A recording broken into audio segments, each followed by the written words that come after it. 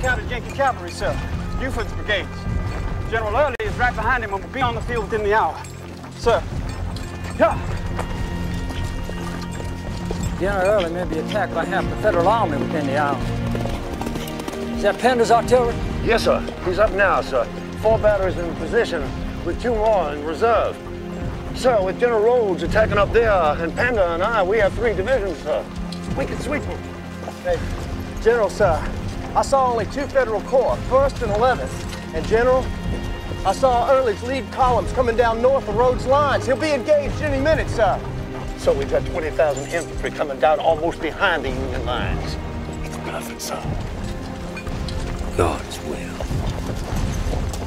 General, it would appear the fight is already underway. General Heth, you may attack, sir. My orders to all commanders, attack.